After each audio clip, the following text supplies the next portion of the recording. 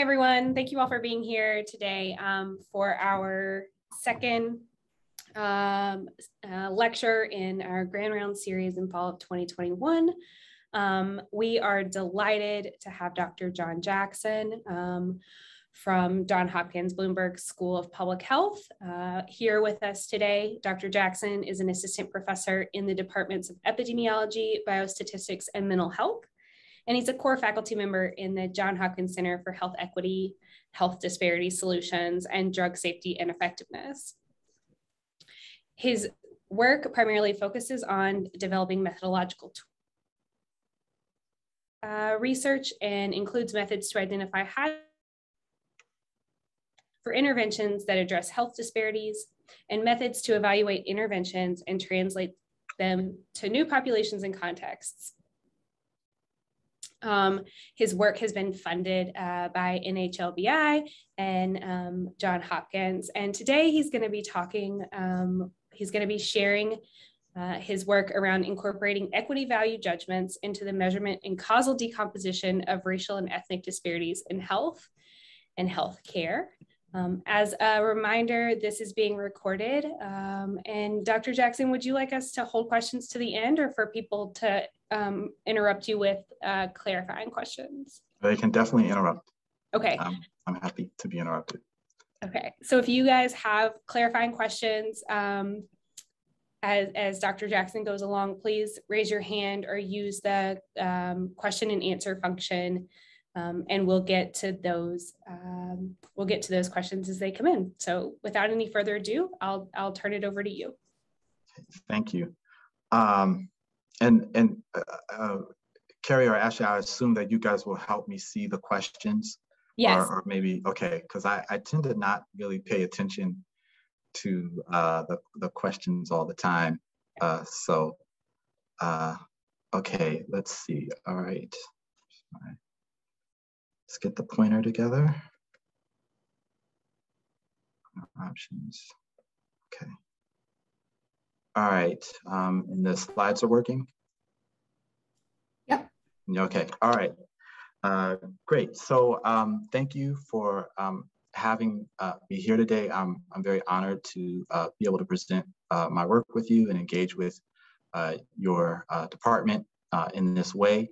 Um, uh, as uh, Carrie mentioned, I'm going to be talking about how we uh, incorporate equity value uh, judgments into how we both measure disparities and uh, use what I call causal decomposition analysis, uh, which is to try and understand which factors contribute to disparities. Um, really the plan for today is to open up with a motivating example to help sort of ground ideas.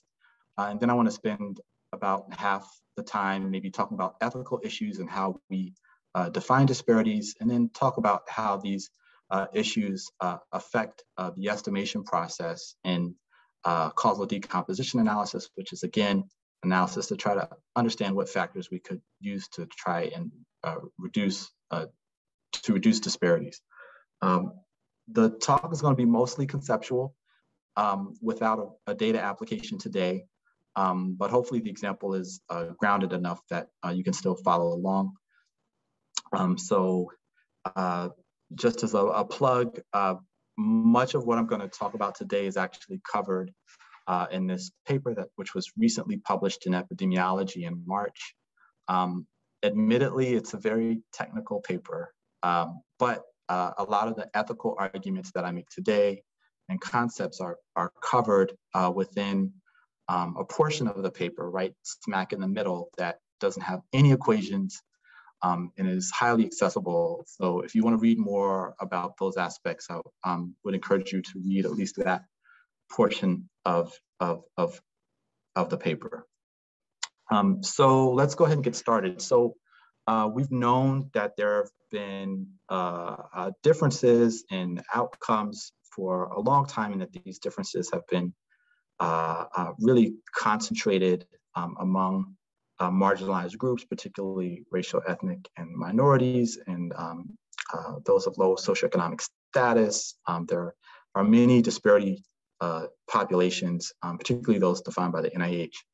Um, and uh, at least since the 1990s, they've explicitly been, uh, in, you know, noted as uh, being part of our public health priorities to uh, uh, to address health disparities. Over time, we've really evolved from aiming to um, make those uh, differences smaller um, to eventually eliminating them, and then more broadly trying to uh, create a society where um, everyone has uh, the the uh, the opportunity to reach their fullest um, uh, health possible, which is how some people define health health equity. Uh, and so uh, we can see that over time, our our um, understanding and goals for uh, health equity have improved, especially when we think about how they've been conceptualized in the in the healthy people um, framework and initiative. But when we think about, at least over the last 20 years, uh, how, how we've made progress in these areas, um, without going into uh, a lot of uh, research out of time, uh, we can see that in many areas, we still have a long way to go. Uh, we know that there are stark uh, disparities in both cancer incidence and in prognosis. we know that there are um, disparities in post-surgical um, outcomes and uh, and mortality. Um, and then more recently with the uh, COVID-19 pandemic, we know there were really stark uh, disparities in infection rates and hospitalization and also in mortality. So um, even though this, you know, we've been aware of these things and had these as metrics in our, uh, our, our, public health priorities and plans, uh, we still have uh, a way to go across many sectors in medicine and in public health. One uh, area where I think that is most striking to me is that of subclinical risk. Uh, so this is an example of subclinical risk for cardiovascular disease, looking at hypertension. Uh, these are data uh, recently, well, I guess published in the American Journal of Epidemiology, looking at data from um, the National Health and Nutrition Examination Survey um, from 1999 through 2016. And uh, these are um, showing you data for adults over the age of 64.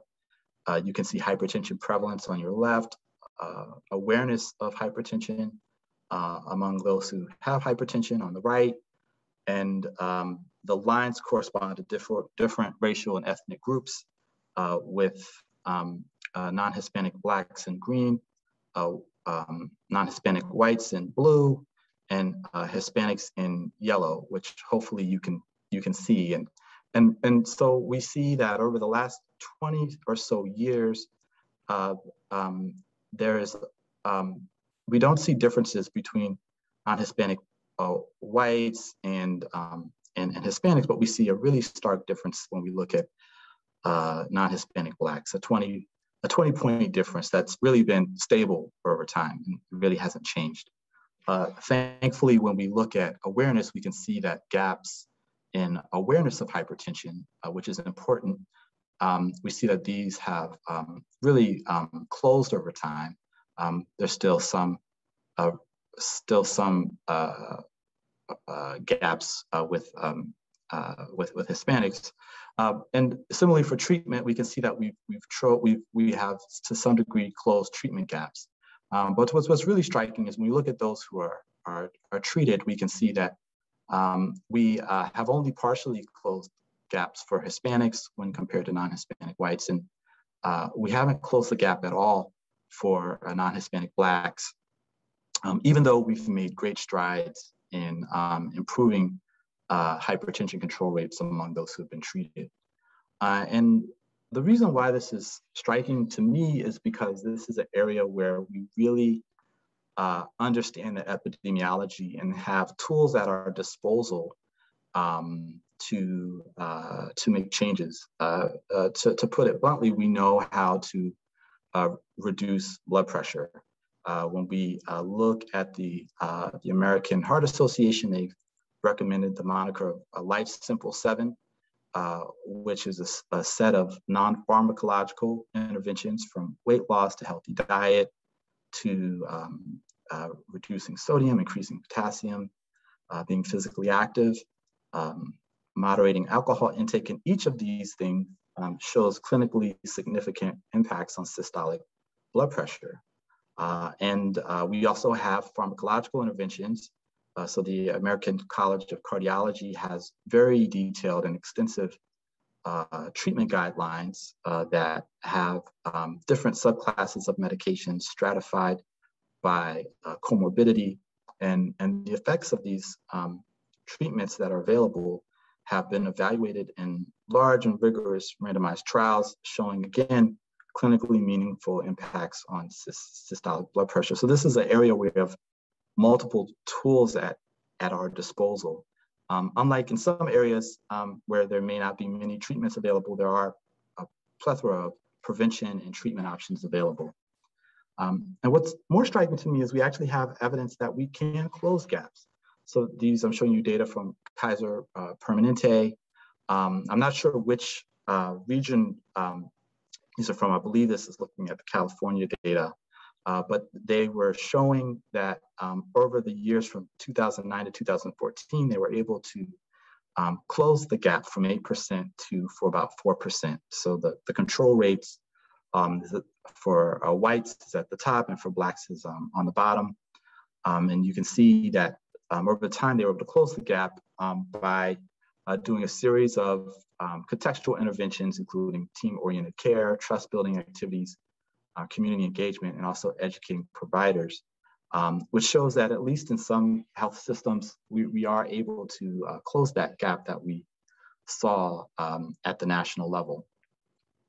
And so that's really going to be the motivating example today. Um, suppose um, you, you work in a healthcare system, so I'm based at Hopkins, you're at Vanderbilt, we might ask, um, you know, if we observe uh, racial uh, differences in hypertension control, uh, what policies or interventions could we do to, uh, to reduce those disparities or eliminate them?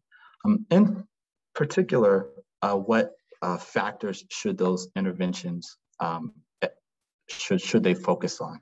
What targets should they uh, focus on? And so uh, to, to really answer this question, we could propose doing an uh, observational study uh, where we enroll patients, suppose um, at, uh, at the time of a, of a primary care visit, uh, retain those who have prevalent hypertension within uh, um, recorded within the past six months. Um, we could assess covariates um, in the six months before the visit or, or at baseline. Uh, and uh, we could assess uh, treatment decisions in the 14 days after the PCP visit. And we could look to see uh, whether or not hypertension was controlled uh, five to six months after the visit. And so uh, the visit would really start the clock for our time zero. and the, the, the, our exposure here is really treatment intensification, and we could see whether or not that results in a hypertension control um, six months down the line. And, and, and our covariates, we could measure demographics, we could measure socioeconomic status, and also clinical uh, status, such as um, comorbidities like diabetes, chronic kidney disease, and uh, baseline blood pressure. And socioeconomic status could be things like education or, or, or type of insurance. Um, demographics could be, say, age and uh, sex, or sex assigned at birth. Um, and when we think about these variables, um, how they're related um, in a causal sense, we could depict them on a graph, uh, which is shown at, at your right. Uh, and we could see um, why is our outcome hypertension control. And, and really um, in this causal model, it's really uh, being impacted by everything. Uh, M is uh, treatment intensification. It's also impacted by all the covariates, um, in, including race. Um, and uh, to say more about our arrows, uh, some of some of the more subtle arrows. So I typically think of arrows going out of race as capturing effects of uh, interpersonal institutional discrimination. Um, but these arrows that link race to uh, socioeconomic status and demographics, I see that as um, socio-demographic or historical and socio-cultural forces, including racism, uh, that, that really uh, link um, uh, early life experiences with uh, the, the, racial group that one belongs to at, at birth. Um, uh, and and um, and so these are sort of uh, demographic and um, social forces that sort of link uh, race to outcomes as well. Um, and um, so with with all of that, you know, we can think about um, you know, we, we see these disparities. We want to do what's called causal decomposition analysis um, to, to try to identify factors that might be useful to intervene on to reduce disparities. And uh, causal decomposition analysis essentially asks a what if question. So if we observe um, hypertension control rates for Blacks, and so this is this top uh, picture here where we've got a population of, of Black persons and they are um, uh, receive uh, the treatment in, is intensified at a certain rate. Um, and um, that, that goes on to lead to a certain hypertension control rate. We could also observe hypertension control rate for white persons, and, and we see that they um, are intensified at a certain rate, and that goes on to have a hypertension control rate for them as well. Uh, we might ask um, what would happen if uh, Blacks received uh, treatment intensification at the same rate as uh, whites. Um, and in this scenario, uh, what would the uh, hypertension control rates uh, for Blacks be in this counterfactual scenario? And so with these three quantities, um, the observed hypertension control rate for Blacks, observed hypertension control rate for whites, and this counterfactual uh, hypertension control rate for Blacks, where we've removed disparities in uh, treatment intensification, we can get three quantities that we might want to estimate. Um, I call these estimands. Um, so our observed disparity would be just really comparing observed outcomes uh, for Blacks versus observed outcomes for whites. Um, our reduced disparity compares the observed uh, uh, control rates for uh, Blacks um, compared to the counterfactual control rate for uh, Blacks under the scenario where we remove disparities in treatment intensification. And uh, the residual disparity, how much of the disparity would remain, is um, contrasting this counterfactual scenario for Blacks compared to the observed scenario for whites. Um, and so that's those are the three things that we might want to estimate, these three disparities. Is everyone with me so far? Okay, no questions? All right, awesome, great. Um, so we have this thought experiment. We've got three disparities we want to estimate. But I think before going any further, we have to step back and ask, how do we actually think about disparity? How do we measure it? Um, in my field, epidemiology, um, often it, it, has been assumed, I don't think it's true anymore, but, um, or hopefully not as much anymore, that often it's been assumed that a, a raw difference is um, synonymous with, with disparity. Um, but the bioethics literature is more clear. Um, and, and in public health, often we rely on um, a definition that was really developed by Paula Braveman, which was uh, uh, built on top of a lot of the work that was done at the World uh, Health Organization by um, um, Margaret Whitehead. Um, and, and this definition was actually used in the 2020 uh, Healthy People uh, report and, and, was further uh, refined by uh, the Secretary's advisor, advisory committee for that report. Um, and, and, they defined disparity as a, um, as a difference that's systematic, um, avoidable, and one that adversely affects socially disadvantaged groups. Um, and uh, I'm pulling from the 2011 paper. There's a 2006 paper by Paula Braveman that really walks through why they crafted it that way. It's a really interesting read. Um, but one thing that they point out that I think is important is number one, I think that you know it affects socially disadvantaged groups. So it's really centering marginalized groups here.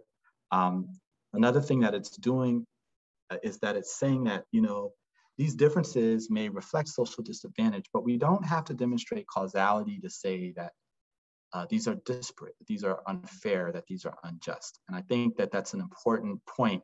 Um, and the, the, the support that they have there is that, you know, health is a resource that's uh, needed to, um, you know, to, to obtain and secure resources and to live a good life.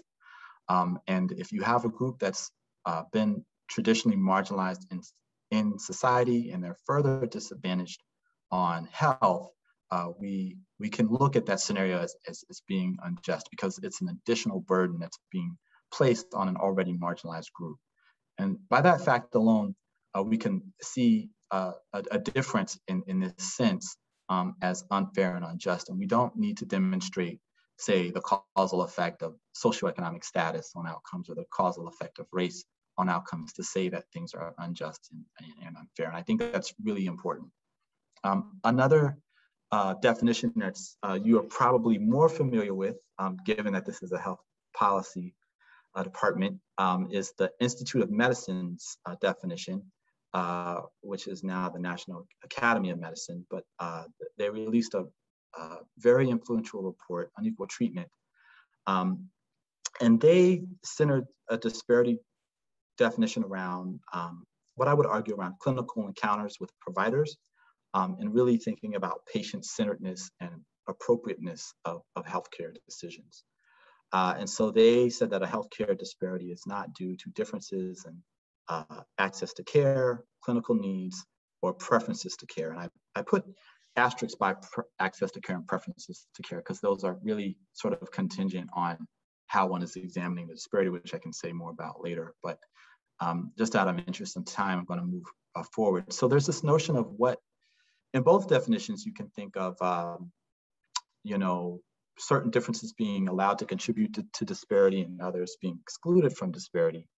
Um, and so um, there's this notion of uh, allowability, which has gone by different names in, in, in, in other fields, but um, uh, uh, um, Benjamin Lê Cook et, et al. with um, um, with Alan, Zasla Alan Zaslavsky and I think Tom McGuire uh, really put forth this idea of allowability in the context of health services research.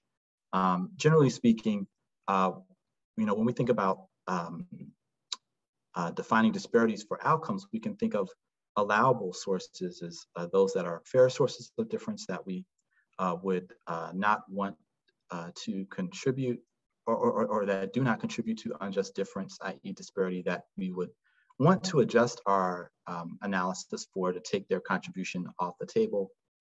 Non-allowable sources are those that are considered to be um, unfair sources of difference that do contribute to unjust difference, and ones that we would not want to adjust for uh, to keep their contribution on, on, on the table.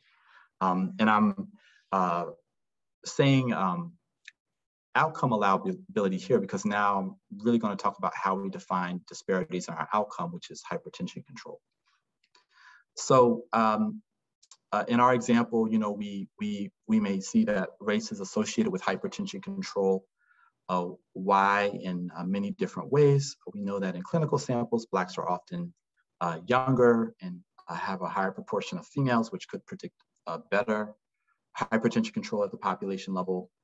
Um, we know that Blacks often have uh, higher rates of comorbidity and are often have lower SES, which could lead to lower rates of hypertension control at the hypertension control, um, I'm sorry, sorry, at the population level. And so the question is, which of these differences should be captured in our uh, disparity measure? Uh, so help me think through uh, this question, the answer to this question, I went to the bioethics literature and I saw two uh, themes really pop up um, about how to uh, decide what should be allowable versus non-allowable. And um, one theme that came up was this issue of manipulability. Uh, so, um, in, in a lot of the early work, um, if you look at some of the old World Health Organization um, definitions of disparity, they, they really had this concept where factors that a that an actor had no control over might be considered allowable. So things like genes or um, things that people really couldn't change. And and and there's uh, you know a res- there's a response to that or a counter to that, and that's really um, you know I call it uh, I call it amenability to intervention, which says that even if you know these factors that we're thinking about are you know you really can't change them, but if we have technology or could develop technology that actually could address their effects, Um, and, and, and, and, and if these non-manipulable factors actually adversely affect socially marginalized groups, then um, we can think about uh, you know, these non-manipulable factors as um, contributing differences that are non-allowable, meaning that they're disparate because if we have ways to address their effects and we don't, uh, we can think about that as um, being inequitable. So uh, let's go through our, our covariates here. Uh, you know, should we consider demographics to be allowable? Well, we know that age usually predicts worse health outcomes. Uh, we know you can't really change your age, um, and we know that it has addressable effects. Um, but the key is in most clinical samples, um, uh, uh, uh, racial ethnic minorities, particularly blacks, are often advantaged on age in the sense that they're younger. So age differences wouldn't really contribute to the higher uh, um, rates of, um, or, or, or, or, or, the lower rates of hypertension control. Um, and so um, in this case, we could treat them as allowable and adjust to and adjust for them. Um, and, and an additional reason why we would want to do that is to avoid um, masking other uh, uh, sources of disparity that might be occurring through, say, socioeconomic status or comorbidity. Um, a really profound example has been the COVID-19 pandemic. as with most, as with most things, uh, there's there was a, a study uh, the, the OpenSAFELY study, which was um, uh, um, uh, published this year, showing that the crude um, ethnic difference in um, mortality um, unadjusted was null, but once you adjusted for age and sex alone, you saw a twofold uh, difference with uh, mortality for ethnic minorities being higher. So um, there's a real danger of um, of masking disparity if, if, if, if, you don't adjust for non, non-manipulable characters, characteristics where the marginalized group is advantaged. Um, and so what about clinical status? Um, well, we know that uh, racial ethnic minorities or blacks in, in this case have a higher prevalence, and so that can lead to um, uh, worse, worse outcomes. Um, you could argue whether or not at the point of care they're manipulable or not, but we do know that they have addressable effects. And again, uh, these are, um, the pattern is such that Blacks are disadvantaged um, in terms of high, having higher comorbidity. And so in this case, I would argue that they could be treated as non-allowable, um, not to adjust, so they do contribute to disparity. And uh, for socioeconomic status, it's a similar argument. Again, Blacks, um, so, so low SES leads to worse hypertension control. Blacks have higher rates of low SES.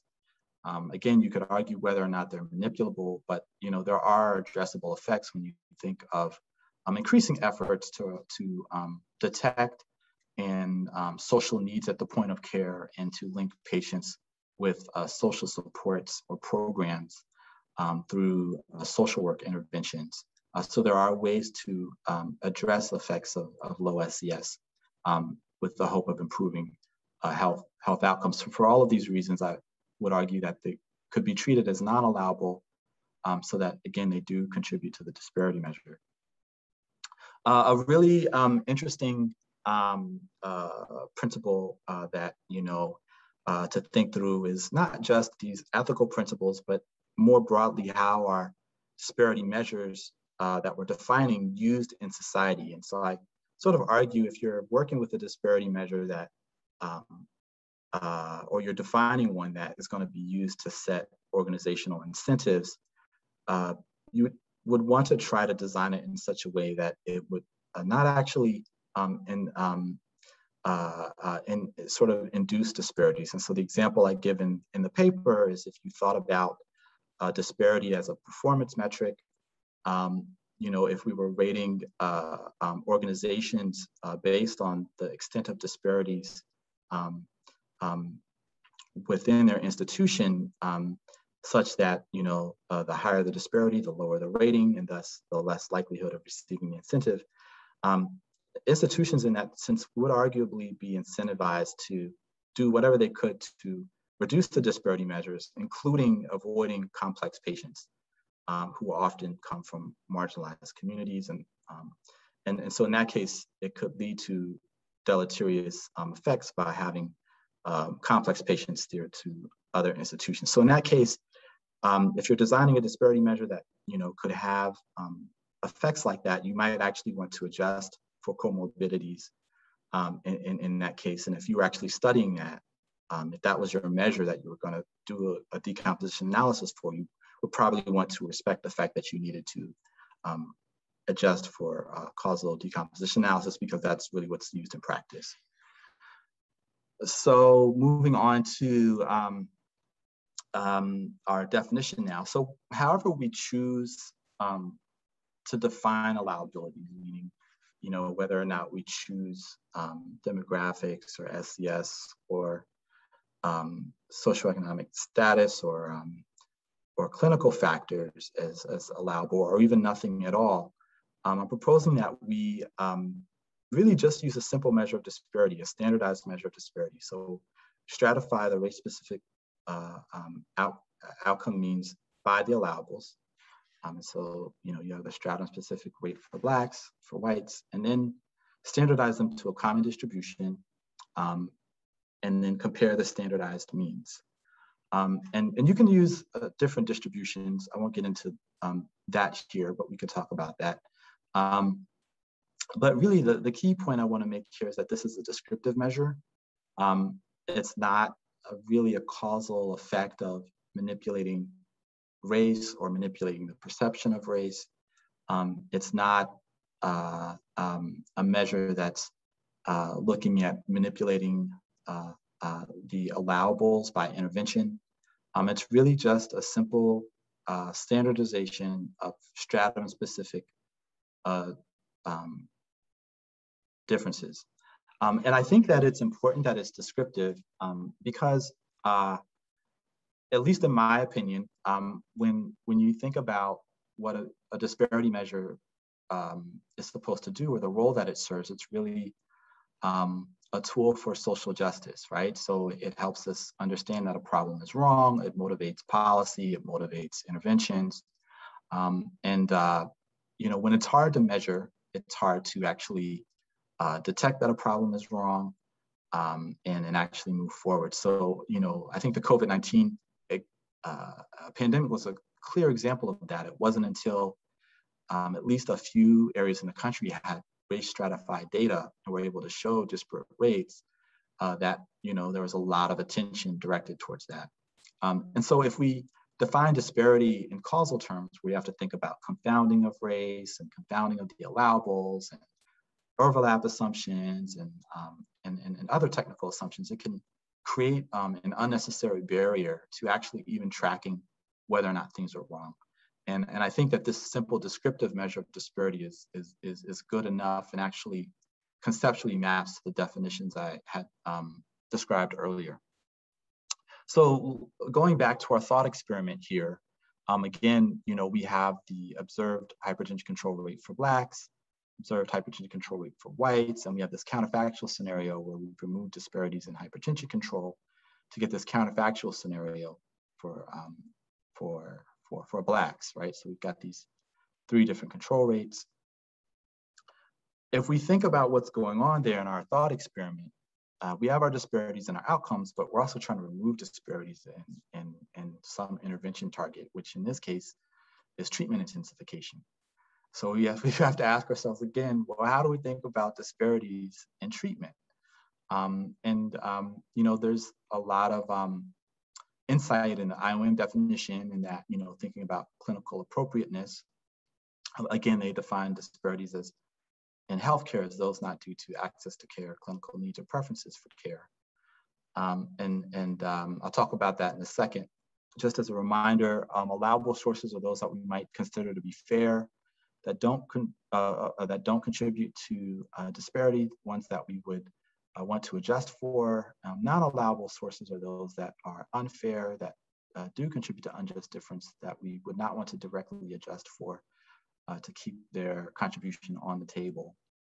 Um, and, and here we can see that race is associated or could be associated with treatment in many ways through demographic differences, through socioeconomic differences, and through um, uh, differences in comorbidity. And again, the question here is which of these differences should be treated as allowable, or here I call target allowable for defining uh, disparities in our target, which is treatment intensification. So stepping back and thinking about, um, you know, there, they actually didn't really talk about this case in the bioethics literature a lot, um, much at all. Uh, really was the health services literature and also thinking about examples from labor economics um, to think about how um, discrimination has been defined to really see that, um, at least in my mind, what was going on is that um, there's this idea of a social contract um, in that, you know, an idealized social contract where we might agree or could agree of, on a set of criteria that should ideally uh, govern how uh, a good, for example, medical treatment um, is distributed. And then those criteria could be considered as allowable. Um, meaning, and again, allowable meaning that they would be adjusted for um, so that differences in those criteria don't get picked up in the disparity measure. Um, and so let's go through the examples to kind of put some um, put some legs on this. So when we think about age and sex uh, differences, um, should we treat you know demographics as, as allowable for the purposes of defining disparities in uh, treatment intensification? Uh, well, we know that most treatment guidelines do have age-specific uh, criteria or protocols, um, and that's because um, basically because of because of the physiology um, can depend on both age and um, sex assigned at birth, and, um, um, and and and for this reason, it you know treatment is medically appropriate when it considers age and sex, and so it makes sense to treat them uh, demographics as as target allowable.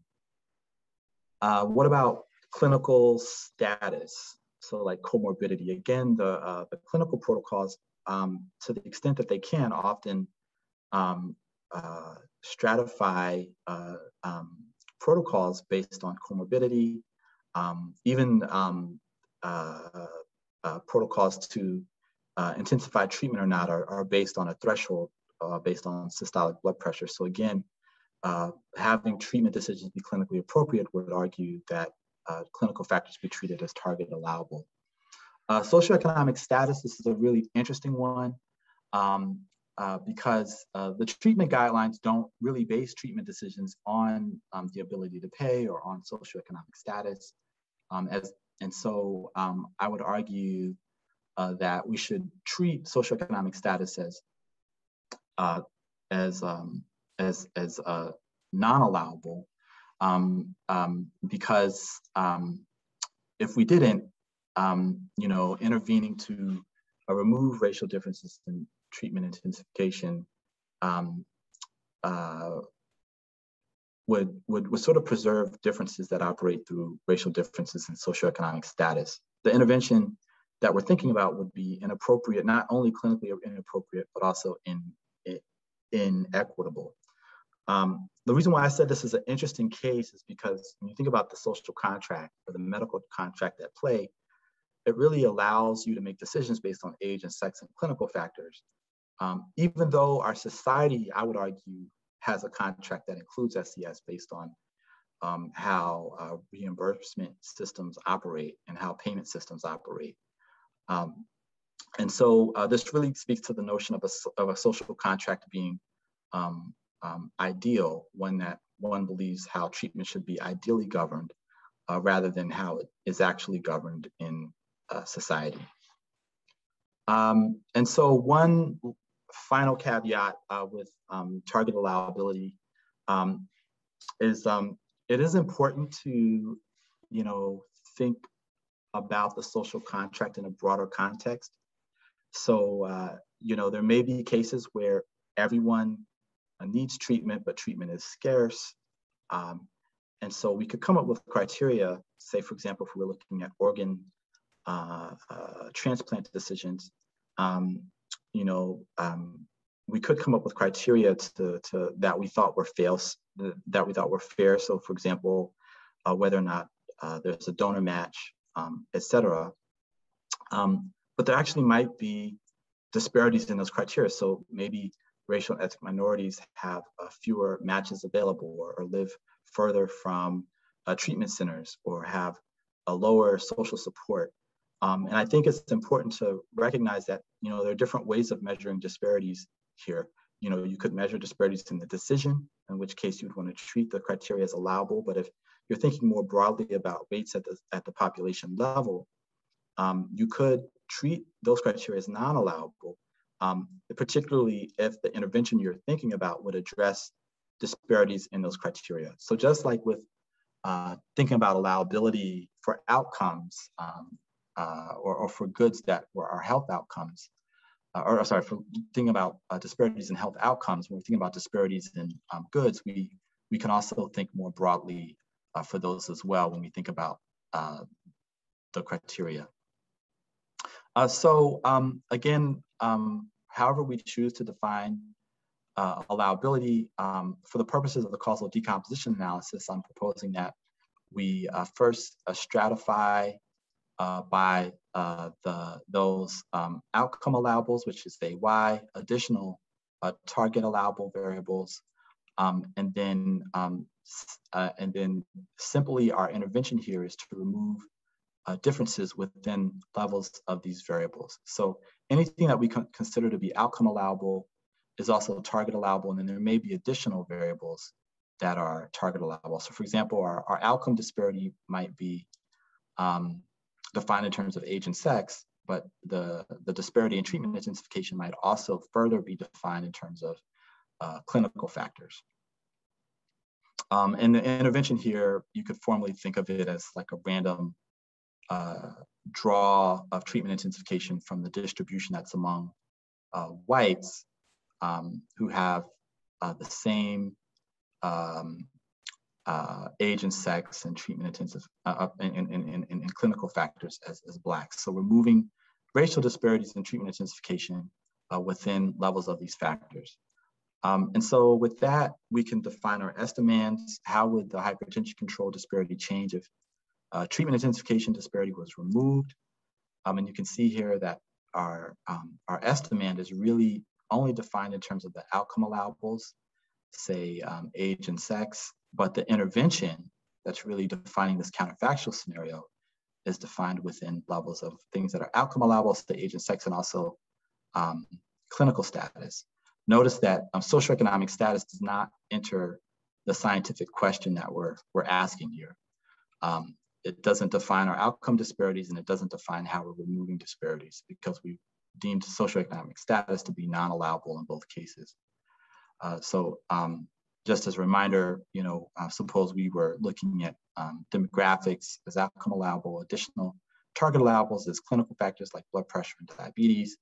Um, and so age and sex really defines our disparity measure, um, as well as our intervention. Additionally, blood pressure and diabetes further define our intervention um, but non-allowable factors like socioeconomic status, like education and insurance, uh, neither define our disparity measure nor our intervention. Are there any questions at this point? Okay, um, good, all right. Um, so hopefully that's good news. So um, now the question is, how do we take those um, estimates? And I, I, promise I'll wrap up with enough time for questions. Um, so now the question is, um, how do we actually estimate you know, these quantities, right? So we have to link them to observed data. Uh, really briefly, um, we need some assumptions. We need some common support assumptions. We need some conditional exchangeability or no confounding assumptions, uh, positivity and consistency.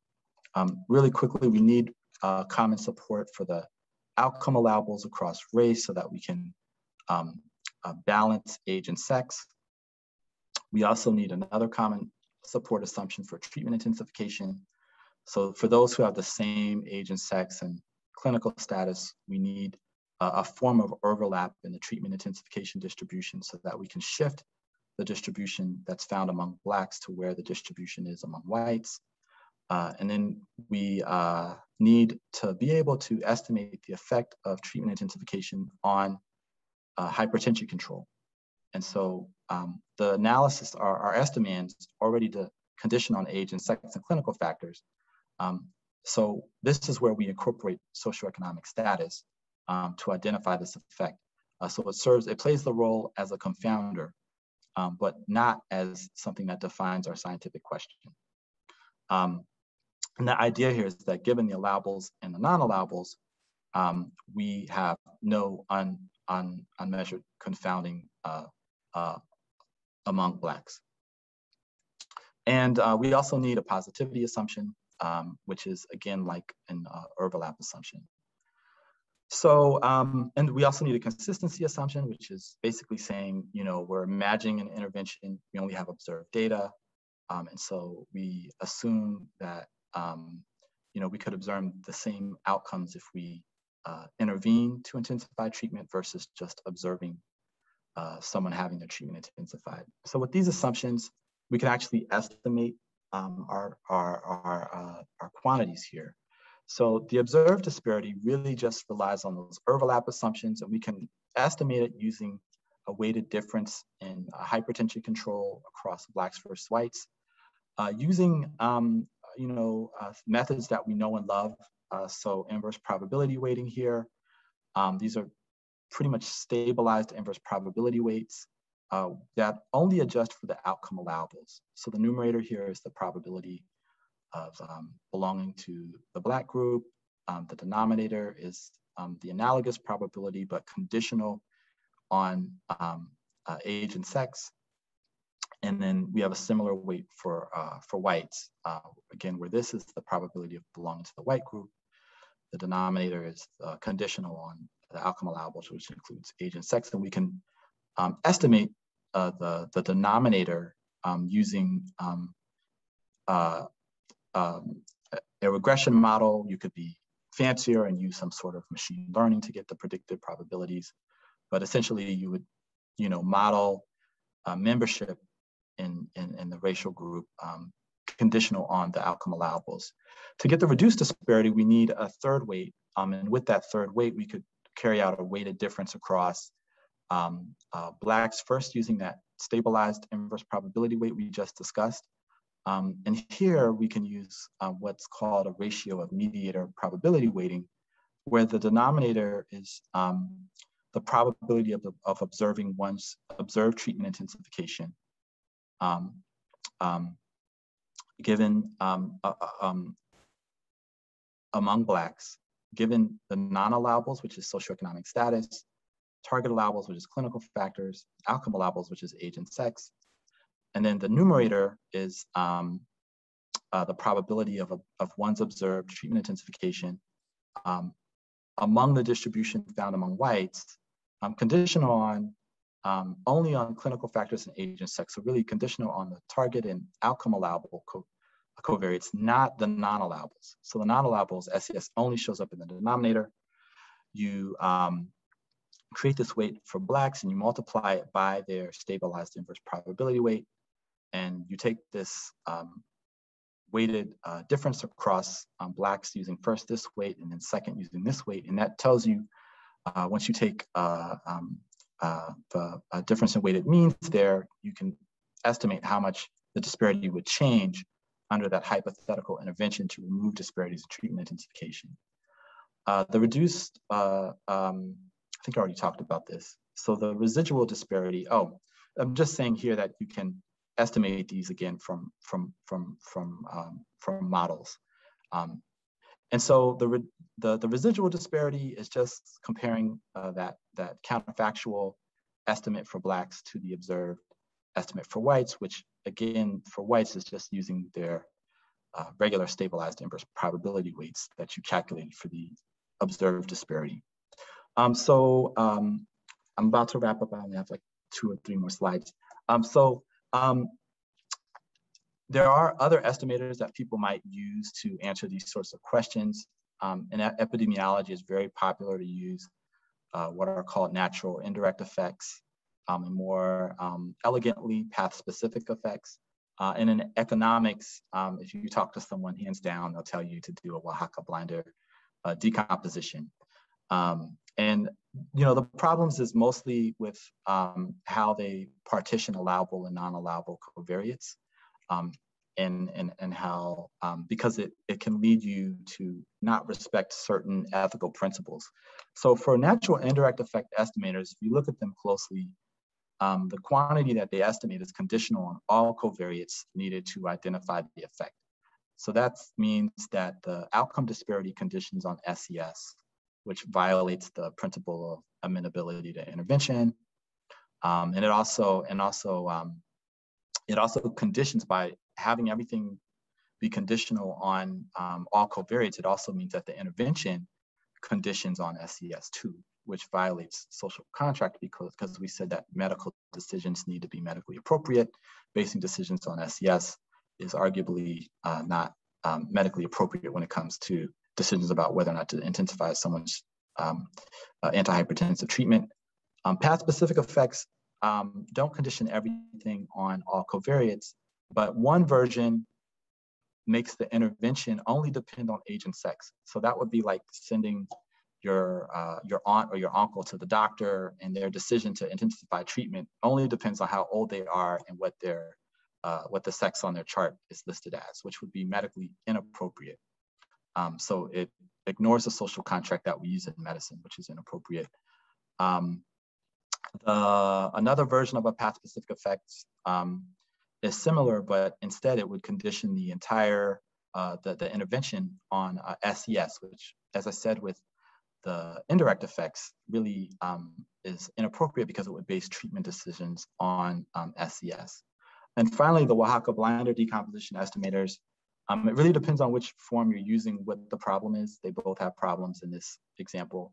Um, the, the linear one would really, uh, would not base the, the, the, intervention on anything, which um, it would just be a random draw from, from um, which would be a random draw from the, the, the white distribution. Uh, so it'd be totally medically inappropriate um, the reweighting versions, which are really popular, those are the, the DiNardo, uh, um, Lemieux, and Fortin estimators. Um, um, those ones, um, the way that you get to those estimators is by conditioning the intervention on um, all the covariates that you need to identify the effect. Again, that makes the treatment decisions conditional on socioeconomic status, which again, um, ignores what I think is the ideal social contract. Uh, so, um, you know, this is, I think, my last slide here. So, um, you know, we want to identify targets for policies and interventions to reduce disparities. Causal inference can help us do this, but we have to be really clear how we define disparity, how we define interventions so that they reflect sensible equity value judgments. Um, often this is going to lead to unique estimators, not ones that are off the shelf. Um, and uh, the nice thing about uh, the, the ones that I propose in my paper is that they're adaptable to any choice you make.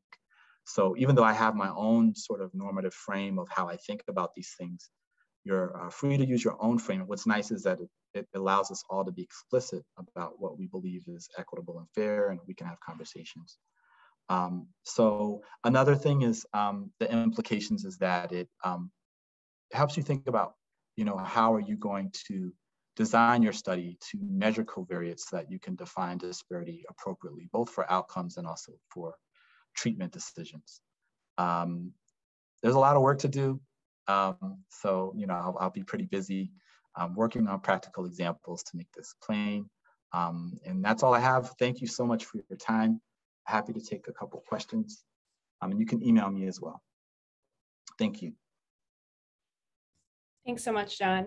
Um, I've got a couple of questions, one in the chat, and it's from Stacy who asked, would you consider health insurance status as allowable or non-allowable?